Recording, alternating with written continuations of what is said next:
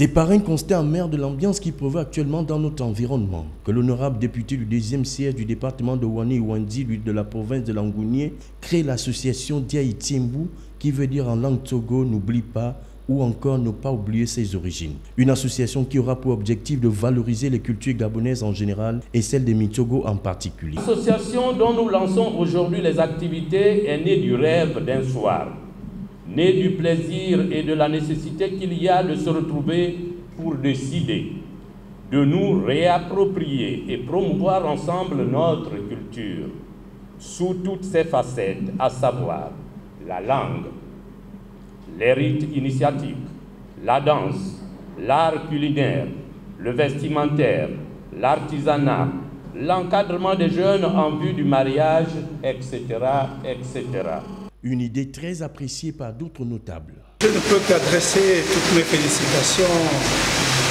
à nos frères qui ont eu cette idée de s'organiser en association. Euh, idée très géniale, euh, géniale dans la mesure où euh, ça va permettre à nos frères de souvent se retrouver, de souvent se retrouver pour discuter euh, de beaucoup de choses et surtout euh, de revaloriser notre culture.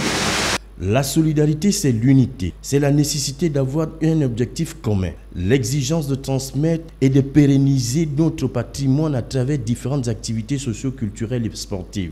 À cet effet, un bureau a été mis en place par le président fondateur pour coordonner les activités de Tembu.